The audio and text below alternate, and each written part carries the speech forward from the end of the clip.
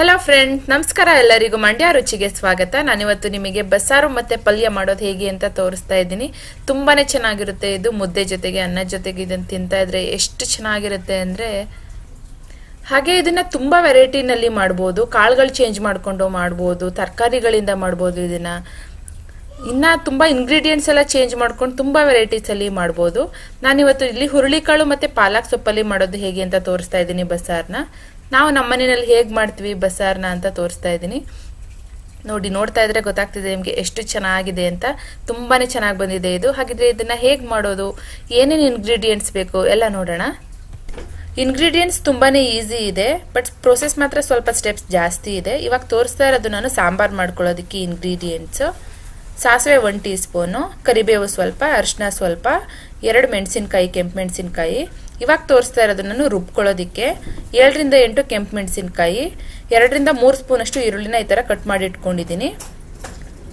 ನಾಲ್ಕರಿಂದ ಐದು ಸ್ಪೂನ್ ಅಷ್ಟು ತೆಂಗಿನ ತುರಿ, ಒಂದು ಹೆಬ್ಬೆರಳು ಸೈಜಷ್ಟು ಹುಣಸೆ ಹಣ್ಣು, ಒಂದರಿಂದ ಒಂದೂವರೆ ಟೇಬಲ್ ಸ್ಪೂನ್ ಅಷ್ಟು ಜೀರಿಗೆ.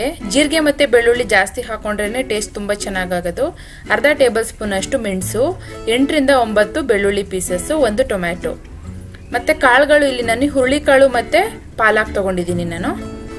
ಇದಕ್ಕೆ ತುಂಬಾ ಕಾಳುಗಳು, ತರಕಾರಿ, ಸೊಪ್ಪು ಎಲ್ಲ ಚೇಂಜ್ ಮಾಡಿಕೊಂಡು ಮಾಡ್ಕೋಬಹುದು ನಾನಿಲ್ಲಿ ಮೂರು ಕಪ್ ಅಷ್ಟು ಹುರುಳಿಕಾಳನ್ನ ನೆನೆಸಿಟ್ಕೊಂಡಿದ್ದೀನಿ ಕಾಲು ಕಪ್ ಅಷ್ಟು ಕಡಲೆಕಾಳು ಕೂಡ ನೆನೆಸಿದ್ದೀನಿ ಪಾಲಕ್ ಸೊಪ್ಪನ್ನ ಒಂದು ಕಡೆ ತಗೊಂಡು ಈ ಥರ ಕಟ್ ಮಾಡಿ ಇಟ್ಕೊಂಡಿದ್ದೀನಿ ಪಾಲಕ್ ಸೊಪ್ಪು ಬದಲು ಇದಕ್ಕೆ ದಂಟಿನ ಸೊಪ್ಪು, ಇಲ್ಲಾಂದರೆ ಕೀರೆ ಸೊಪ್ಪು ಅಂತ ಬರುತ್ತಲ್ಲ, ಸಾಂಬಾರ್ ಸೊಪ್ಪುಗಳು ಬರುತ್ತಲ್ಲ, ಅದನ್ನು ಹಾಕೊಂಡ್ರೆ ಇನ್ನ ತುಂಬ ಚೆನ್ನಾಗಿರುತ್ತೆ.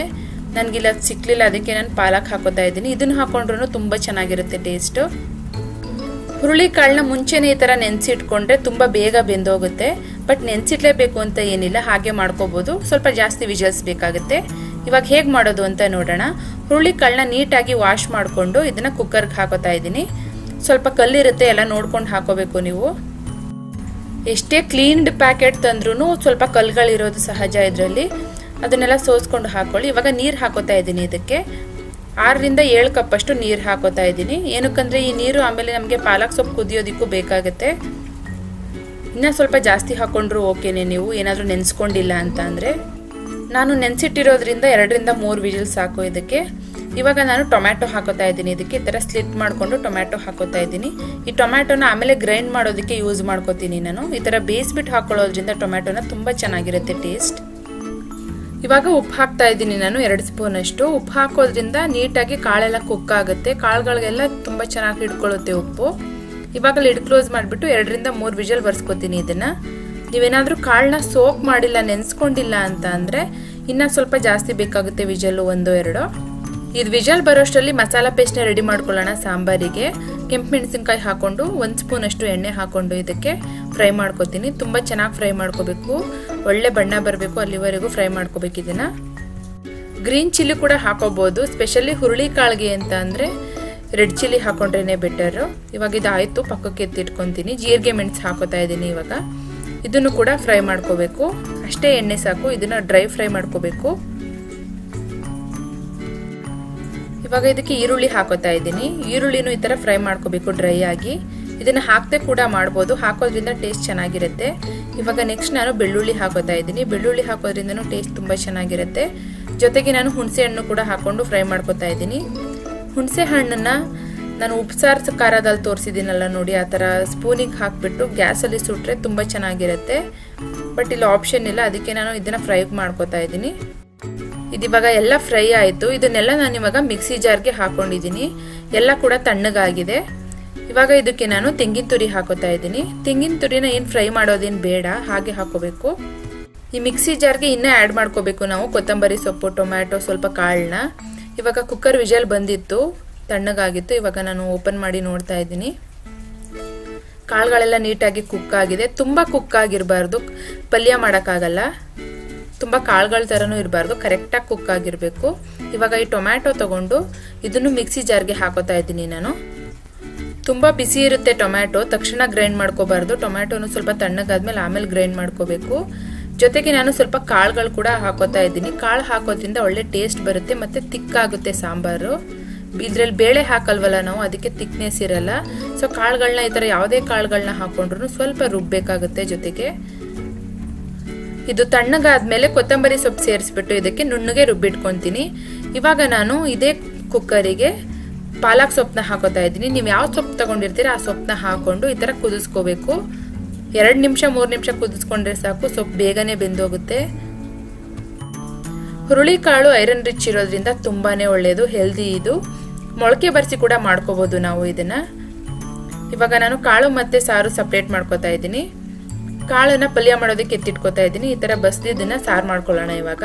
ಇವಾಗ ಒಂದು ಪ್ಯಾನ್ ತಗೊಂಡು ನಾನು ಇದಕ್ಕೆ ಒಂದು ಐದರಿಂದ ಆರು ಸ್ಪೂನ್ ಅಷ್ಟು ಎಣ್ಣೆ ಹಾಕೋತಾ ಇದ್ದೀನಿ. ಎಣ್ಣೆ ಸ್ವಲ್ಪ ಬಿಸಿ ಆಗಲಿ, ಇದಕ್ಕೆ ನೆಕ್ಸ್ಟ್ ಇವಾಗ ನಾನು ಸಾಸಿವೆ ಹಾಕೋತಾ ಇದ್ದೀನಿ. ಸಾಸಿವೆ ಈ ತರ ಚಿಟಪಟ ಸೌಂಡ್ ಬರಲಿ. ನೆಕ್ಸ್ಟ್ ಇದಕ್ಕೆ ನಾನು ಕರಿಬೇವು, ಕೆಂಪೆಣಸಿನಕಾಯಿ ಅರಿಶಿನ ಹಾಕೋತಾ ಇದ್ದೀನಿ. ಇದು ಕೂಡ ಲೈಟ್ ಆಗಿ ಫ್ರೈ ಆಗಲಿ. ನೆಕ್ಸ್ಟ್ ಇದಕ್ಕೆ ನಾನು ಗ್ರೈಂಡಿಂಗ್ ಮಿಕ್ಸ್ಚರ್ ಹಾಕೋತಾ ಇದ್ದೀನಿ. ರುಬ್ಬಿಟ್ಕೊಂಡಿದ್ವಲ್ಲ ಅದನ್ನ. ಇದಕ್ಕೆ ನೀರು ಹಾಕೋಬಾರ್ದು, ಹಾಗೆ ಇದನ್ನ ಫ್ರೈ ಮಾಡ್ಕೋಬೇಕು. ತುಂಬ ನುಣ್ಣಗೆ ಪೇಸ್ಟ್ ಮಾಡ್ಕೋಬೇಕು. ತುಂಬ ಚೆನ್ನಾಗಾಗುತ್ತೆ ಸಾರು ಅವಾಗ. ಹಾಗೆ ಇದಕ್ಕೆ ನೀರು ಹಾಕೊಳ್ದೆ ಹಾಗೆ ಈ ಥರ ಫ್ರೈ ಮಾಡ್ಕೋಬೇಕು ಫಸ್ಟು ಒಂದೆರಡು ನಿಮಿಷ ಆದಮೇಲೆ ಇದಕ್ಕೆ ಸ್ವಲ್ಪ ನೀರು ಹಾಕೋಬೇಕು. ನೀರು ಹಾಕೊಂಡ್ಮೇಲೂ ಸ್ವಲ್ಪ ಫ್ರೈ ಮಾಡ್ಕೋಬೇಕಾಗುತ್ತೆ ಇದನ್ನ. ನೀರು ಹಾಕೊಂಡ್ಮೇಲೆ ಏನಂದರೆ ತುಂಬ ಕೇರ್ಫುಲ್ ಆಗಿರಬೇಕು. ಏನಕ್ಕಂದರೆ ಇದು ಬಬಲ್ಸ್ ಥರ ಬಂದು ಸ್ವಲ್ಪ ಆಚೆ ಕಡೆ ಎಲ್ಲ ಬರುತ್ತೆ. ಸೊ ಇದನ್ನ ಲಿಡ್ ಕ್ಲೋಸ್ ಮಾಡಿಬಿಟ್ಟು ಬೇಯಿಸ್ಕೊಳ್ಳೋದೇ ಬೆಟರ್ ಅನ್ಸುತ್ತೆ. ಈ ಬಸ್ಸಾರು ಚೆನ್ನಾಗಾಗಬೇಕು ಅಂತ ಅಂದರೆ ಈ ಥರ ನೀರು ಹಾಕಿದ್ಮೇಲೆ ತುಂಬ ಚೆನ್ನಾಗಿ ಇದನ್ನು ಬೇಯಿಸ್ಕೋಬೇಕಾಗುತ್ತೆ. ಈ ಮಸಾಲ ಪೇಸ್ಟ್ ಎಲ್ಲ ತುಂಬ ಚೆನ್ನಾಗಿ ಕುಕ್ ಆಗಬೇಕು ಫಸ್ಟೇ ಆ ಹುರುಳಿಕಾಳು ಕಟ್ಸಾರು ಇದೆಯಲ್ಲ, ಅದನ್ನು ಹಾಕೋಕ್ಕಿಂತ ಮುಂಚೆನೇ ತುಂಬ ಚೆನ್ನಾಗಿ ಕುಕ್ ಆಗಿರಬೇಕು ಇದು. ಆಲ್ರೆಡಿ ಚಾನೆಲ್ನಲ್ಲಿ ನಾವು ಮೊಳಕೆ ಹುರುಳಿಕಾಳು ಸಾರು ಮಾಡಿರೋದನ್ನು ಹಾಕಿದ್ದೀನಿ. ಆ ವಿಡಿಯೋನ ಚೆಕ್ ಮಾಡಿಲ್ಲ ಅಂದರೆ ಮಾಡಿ. ಇವಾಗ ಇದನ್ನು ಕ್ಲೋಸ್ ಮಾಡಿಬಿಟ್ಟು ಬೇಯಿಸ್ಕೊಂಡಿದ್ದೆ. ಇದಕ್ಕೆ ಹುರುಳಿಕಾಳು ಬೇಯಿಸ್ಕೊಂಡಿದ್ವಲ್ಲ, ಆ ಕಟ್ಸಾರನ್ನು ಹಾಕಿಬಿಟ್ಟು ಇವಾಗ ನೀಟಾಗಿ ಮಿಕ್ಸ್ ಮಾಡ್ಕೋತಾ ಇದ್ದೀನಿ. ಇದನ್ನು ಕೂಡ ಸ್ವಲ್ಪ ಟೈಮ್ ಬೇಯಿಸ್ಕೋಬೇಕಾಗುತ್ತೆ. ಇವಾಗ ಇದಕ್ಕೆ ನಾನು ಸ್ವಲ್ಪ ಉಪ್ಪು ಹಾಕೋತಾ ಇದ್ದೀನಿ. ಉಪ್ಪನ್ನ ಸ್ವಲ್ಪ ಹಾಕೋಬೇಕು ಆಲ್ರೆಡಿ ಹುರುಳಿಕಾಳನ್ನ ಬೇಯಿಸ್ಕೊಳ್ಳುವಾಗ ಉಪ್ಪನ್ನ ಹಾಕಿರೋದ್ರಿಂದ ಇವಾಗ ಸ್ವಲ್ಪ ಹಾಕೋತೀನಿ ಇದಿವಾಗ ಒಂದು ಐದು ನಿಮಿಷ ಕುಕ್ ಆಗಿದೆ. ಟೇಸ್ಟ್ ಎಲ್ಲ ಕರೆಕ್ಟ್ ಆಗಿದೆಯಾ ಅಂತ ನೋಡಿಕೊಂಡು ಇದಕ್ಕೆ ನಾನು ಕೊತ್ತಂಬರಿ ಸೊಪ್ಪನ್ನ ಹಾಕ್ತಾ ಇದ್ದೀನಿ. ಇವಾಗ ಈ ಸಾರು ರೆಡಿ ಆಯಿತು. ನೀವು ಕೂಡ ಈ ಥರ ಮಾಡ್ಕೊಳ್ಳಿ. ತುಂಬ ಚೆನ್ನಾಗಿರುತ್ತೆ. ಇವಾಗ ನೆಕ್ಸ್ಟ್ ಪಲ್ಯ ಮಾಡ್ಕೊಳ್ಳೋಣ. ಪಲ್ಯ ಮಾಡೋಕೆ ಇಂಗ್ರೀಡಿಯೆಂಟ್ಸ್ ಏನೇನು ಬೇಕಪ್ಪ ಅಂತಂದರೆ ನಾಲ್ಕರಿಂದ ಐದು ಹಸಿಮೆಣಸಿನ್ಕಾಯಿನ ಈ ಥರ ಉದ್ದುದವಾಗಿ ಹೆಚ್ಚಿಟ್ಕೊಂಡಿದ್ದೀನಿ. ಅರ್ಧ ಕಪ್ ಅಷ್ಟು ತೆಂಗಿನ ತುರಿ ತಗೊಂಡಿದ್ದೀನಿ. ಸ್ವಲ್ಪ ಕರಿಬೇವು, ಮೂರರಿಂದ ನಾಲ್ಕು ಈರುಳ್ಳಿನ ಈ ಥರ ಸಣ್ಣಗೆ ಹೆಚ್ಚಿಟ್ಕೋಬೇಕು. ಈರುಳ್ಳಿ ಜಾಸ್ತಿ ಹಾಕೋದ್ರಿಂದನೇ ತುಂಬ ಚೆನ್ನಾಗಿರುತ್ತೆ ಟೇಸ್ಟು. ಈರುಳ್ಳಿ ಮತ್ತು ತೆಂಗಿನ ತುರಿ ಜಾಸ್ತಿ ಹಾಕೊಳ್ಳಿ, ಆದಷ್ಟು ಸ್ವಲ್ಪ. ಮತ್ತೆ ಒಗ್ಗರಣೆಗೆ ಸಾಸಿವೆ ಸ್ವಲ್ಪ, ಹಿಂಗು ಸ್ವಲ್ಪ, ಎಣ್ಣೆ ಮತ್ತು ಉಪ್ಪು ಬೇಕಾಗುತ್ತೆ ಅಷ್ಟೇನೆ. ಇವಾಗ ಒಗ್ಗರಣೆ ಮಾಡ್ಕೊಳ್ಳೋಣ. ಒಂದು ಪ್ಯಾನಲ್ಲಿ ಈ ಥರ ಎಣ್ಣೆ ಹಾಕ್ಕೊಂಡು ಇದಕ್ಕೆ ಸ್ವಲ್ಪ ಸಾಸಿವೆ ಹಾಕೋತಾ ಇದ್ದೀನಿ. ಸಾಸಿವೆ ಚೀಟಪಟ ಸೌಂಡ್ ಬರಲಿ. ಹಿಂಗ್ ಹಾಕೋತಾ ಇದ್ದೀನಿ ನೆಕ್ಸ್ಟ್ ಇದಕ್ಕೆ ನಾನು. ಹಿಂಗ್ ಪೌಡರ್ ಆಪ್ಷನಲ್ಲು ಬೇಕಂದ್ರೆ ಹಾಕೋಬಹುದು ನೆಕ್ಸ್ಟ್ ಇದಕ್ಕೆ ನಾನು ಹಸಿ ಮೆಣಸಿನ್ಕಾಯಿ ಹಾಕೋತಾ ಇದ್ದೀನಿ. ಕರಿಬೇವು, ಈರುಳ್ಳಿ ಹಾಕೋತಾ ಇದ್ದೀನಿ. ಈರುಳ್ಳಿ ಜಾಸ್ತಿ ಹಾಕೊಂಡ್ರೆ ತುಂಬಾ ಚೆನ್ನಾಗಿರುತ್ತೆ ಟೇಸ್ಟ್ ಆದಷ್ಟು ಸಣ್ಣಗೆ ಹೆಚ್ಚಿಬಿಟ್ಟು ಹಾಕಿ, ಇದನ್ನು ಕೂಡ ಗೋಲ್ಡನ್ ಬ್ರೌನ್ ಕಲರ್ ಬರೋವರೆಗೂ ಫ್ರೈ ಮಾಡ್ಕೋಬೇಕು ಈ ಥರ ಆಮೇಲೆ ಈ ಥರ ಕಾಳು ಸೋಸಿ ಇಟ್ಕೊಂಡಿದ್ವಲ್ಲ, ಈ ಕಾಳನ್ನ ಹಾಕೋತಾ ಇದ್ದೀನಿ ಮಿಕ್ಸ್ ಮಾಡ್ಕೋತಾ ಇದ್ದೀನಿ ಇದಕ್ಕೆ. ಇವಾಗ ಉಪ್ಪು ಹಾಕೋತಾ ಇದ್ದೀನಿ. ಉಪ್ಪು ಆಲ್ರೆಡಿ ನಾವು ಕಾಳು ಬೇಯುವಾಗ ಹಾಕೊಂಡಿರೋದ್ರಿಂದ ಸ್ವಲ್ಪ ಹಾಕೊಳ್ಳಿ, ಆದಷ್ಟು ನೋಡ್ಬಿಟ್ಟು ಹಾಕೊಳ್ಳಿ. ಇವಾಗ ಇದನ್ನ ನೀಟಾಗಿ ಮಿಕ್ಸ್ ಮಾಡಿಕೊಂಡು ತೆಂಗಿನ ತುರಿ ಹಾಕೋತಾ ಇದ್ದೀನಿ. ತೆಂಗಿನ ತುರಿ ಹಾಕೊಂಡ್ಮೇಲೆ ಒಂದು ಎರಡು ನಿಮಿಷ ಬಾಡಿಸ್ಕೊಳ್ಳಿ ಅಷ್ಟೇನೆ. ತೆಂಗಿನ ತುರಿ ಹೀಗೆ ಹಸಿ ಹಸಿ ಆಗಿರಬೇಕು ಆವಾಗಲೇ ಟೇಸ್ಟ್ ಚೆನ್ನಾಗಿರೋದು. ಮಿಕ್ಸ್ ಮಾಡ್ಕೊಂಡ್ಮೇಲೆ ಇವಾಗ ಕೊನೆಯಲ್ಲಿ ನಾನು ಕೊತ್ತಂಬರಿ ಸೊಪ್ಪನ್ನ ಹಾಕೋತಾ ಇದ್ದೀನಿ. ಸ್ವಲ್ಪ ಜಾಸ್ತಿನೇ ಹಾಕೋತೀನಿ. ಇದನ್ನು ಕೂಡ ಮಿಕ್ಸ್ ಮಾಡ್ಕೋತಾ ಇದ್ದೀನಿ ಇವಾಗ. ಇದಿವಾಗ ರೆಡಿ ಆಯಿತು. ಬಸ್ಸಾರು ಮತ್ತು ಕಾಳು ಪಲ್ಯ ರೆಡಿ ಆಯಿತು. ಇದನ್ನು ಮುದ್ದೆ ಜೊತೆಗೆ ತಿಂತಾ ಇದ್ರೆ ಸೂಪರ್ ಆಗಿರುತ್ತೆ ಬಟ್ ನನಗೆ ಮಾಡೋಕ್ಕಾಗಿಲ್ಲ ಮುದ್ದೆನ ಇವತ್ತು. ಸೊ ಇವತ್ತು ರೈಸ್ ಜೊತೆಗೆ ತಿಂತಾ ಇದ್ದೀನಿ ಇದನ್ನು. ರಾತ್ರಿ ಬೇಕಾದರೆ ಮಾಡ್ಕೊಂಡ್ರೆ ಆಯಿತು ಮುದ್ದೆನ ಅಂತ. ನೋಡಿದ್ರಲ್ಲ ಫ್ರೆಂಡ್ಸ್ ಎಷ್ಟು ಈಸಿಯಾಗಿ ಬಸ್ಸಾರು ಮತ್ತು ಪಲ್ಯನ ಮಾಡ್ಕೋಬೋದು ಅಂತ. ಇದನ್ನ ನೀವು ಕೂಡ ಮನೆಯಲ್ಲಿ ಟ್ರೈ ಮಾಡಿ ಟ್ರೈ ಮಾಡಿಬಿಟ್ಟು ನನಗೆ ಹೇಳಿ ಹೇಗೆ ಬಂತು ಅಂತ ನನಗೆ ಕಮೆಂಟ್ ಮಾಡಿ ತಿಳಿಸಿ. ಹಾಗೆ ನಿಮಗೆ ಈ ವಿಡಿಯೋ ಇಷ್ಟ ಆಗಿದ್ರೆ ಲೈಕ್ ಮಾಡಿ ಲೈಕ್ ಮಾಡೋದ್ರಿಂದ ನನಗೆ ಗೊತ್ತಾಗುತ್ತೆ ನಿಮಗೆ ನಾನು ಮಾಡೋ ರೆಸಿಪಿಗಳು ಇಷ್ಟ ಆಗ್ತಿದೆ ಅಂತ. ಹಾಗೆ ಇನ್ನೂ ಯಾರ್ಯಾರು ಸಬ್ಸ್ಕ್ರೈಬ್ ಮಾಡ್ಕೊಂಡಿಲ್ಲ ನಮ್ಮ ಚಾನಲ್ಗೆ ಅವರೆಲ್ಲ ಇವಾಗಲೇ ಸಬ್ಸ್ಕ್ರೈಬ್ ಮಾಡ್ಕೊಳ್ಳಿ. ಹಾಗೆ ಪಕ್ಕದಲ್ಲೇ ಬರೋ ಬೆಲ್ ಬಟನ್ನು ಕೂಡ ಪ್ರೆಸ್ ಮಾಡಿ. ಒಂದ್ಸಲ ಸಬ್ಸ್ಕ್ರೈಬ್ ಆದರೆ ಸಾಕು, ಒಂದ್ಸಲ ಬೆಲ್ ಬಟನ್ನ ಪ್ರೆಸ್ ಮಾಡಿದ್ರೆ ಸಾಕು, ನಿಮಗೆ ನೋಟಿಫಿಕೇಶನ್ ಬರುತ್ತೆ. ನಾವು ನೆಕ್ಸ್ಟ್ ವಿಡಿಯೋಸ್ನ ಅಪ್ಲೋಡ್ ಮಾಡಿದಾಗ, ನೀವು ಅವಾಗಲೇ ಆ ವಿಡಿಯೋಸ್ನ ನೋಡ್ಬೋದು. ಹಾಗೆ ನೀವು ನಮ್ಮ ಫೇಸ್ಬುಕ್ ಮತ್ತು ಇನ್ಸ್ಟಾಗ್ರಾಮ್ ಪೇಜ್ ಕೂಡ ಫಾಲೋ ಮಾಡ್ಬೋದು. ಎಲ್ಲದ್ರದ್ದು ಲಿಂಕ್ ಡಿಸ್ಕ್ರಿಪ್ಷನ್ ಬಾಕ್ಸಲ್ಲಿ ಇರುತ್ತೆ ಚೆಕ್ ಮಾಡಿ. ಇಲ್ಲ ಮಂಡ್ಯ ರುಚಿ ಅಂತ ಸರ್ಚ್ ಮಾಡಿ, ಸಿಗುತ್ತೆ. ಆಲ್ರೆಡಿ ತುಂಬ ರೆಸಿಪಿಗಳನ್ನ ಅಪ್ಲೋಡ್ ಮಾಡಿದ್ದೀವಿ ನಮ್ಮ ಚಾನೆಲ್ನಲ್ಲಿ ಚಾನಲ್ಗೆ ಹೋಗಿ ಚೆಕ್ ಮಾಡಿ.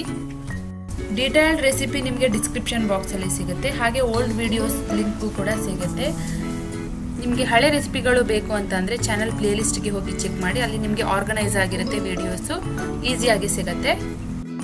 ನಿಮಗೆ ಯಾವುದಾದ್ರೂ ಪರ್ಟಿಕ್ಯುಲರ್ ರೆಸಿಪಿಗಳು ಬೇಕು ಅಂತ ಅಂದರೆ ಅದನ್ನು ಕಮೆಂಟ್ ಮಾಡಿ ತಿಳಿಸಿ. ನಾನು ನೆಕ್ಸ್ಟ್ ವಿಡಿಯೋಸಲ್ಲಿ ಗೊತ್ತಿದ್ರೆ ನನಗೆ ಹಾಕೋಕ್ಕೆ ಟ್ರೈ ಮಾಡ್ತೀನಿ. ಓಕೆ ನಾವು ನೆಕ್ಸ್ಟ್ ವಿಡಿಯೋದಲ್ಲಿ ಸಿಗೋಣ. See you take care bye bye